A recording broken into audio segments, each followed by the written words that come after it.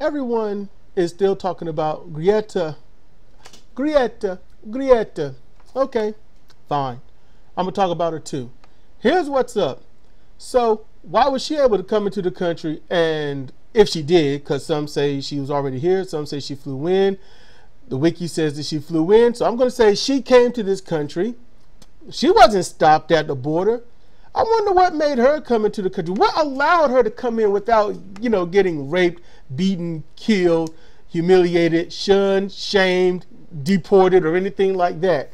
I wonder. I don't know. It could be the complexion, you know, but that's not all. Because she ain't out the woods. Oh, no, no, no, no, no. No. See, that got her in the country.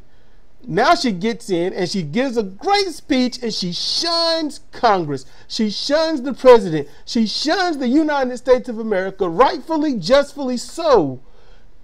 But here's the thing she hasn't said anything different than any of the minorities have been saying for a couple of decades. She hasn't said anything that what we demonized as tree huggers and hippies have been saying since the mid to late 60s.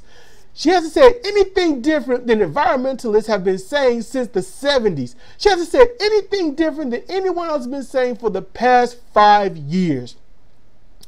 She has done the same thing that everyone else has done. And might I add, she is definitely being heard because in this room of theater, because that's all it is, she's just a, someone to sit up there as a prop and definitely entertain the masses of wealthy when she shuns everyone. And at the end, they give her a rounding applause because when she leaves, the show is over and it's back to business as usual. So when Congress is done, when whoever was listening is done, they will just forget what she said because what she said isn't important. Why? It ain't the color of her skin. It's simply the fact that though she's white, she's not American. Nope, she's not American. She's not the hated Americans in the South. She's not the hated Americans in the North. She's just simply not American. Simple as that. She is from Sweden. She has an accent. That expresses she is not as important. The fact that she's white means she won't get killed, beaten up, or anything. And she's great to be a good poster child for whatever this situation is, which is nothing more than a rerun. That's it.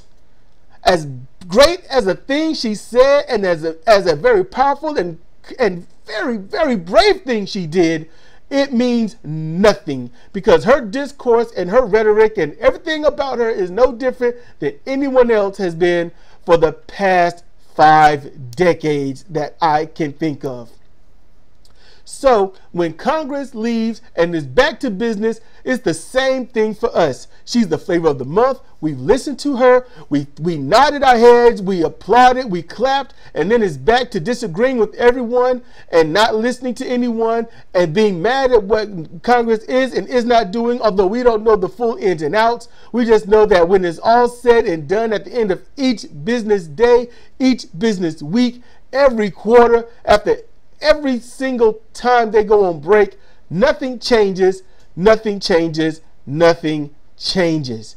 And we beat our heads against a brick wall, which is not just them, but ourselves, inciting that we need change, change that we won't make within ourselves so that we can see it outside of ourselves. And that is all that's ever happened. This is Cedric Cannady for Comparative Reasoning. Thank you for listening.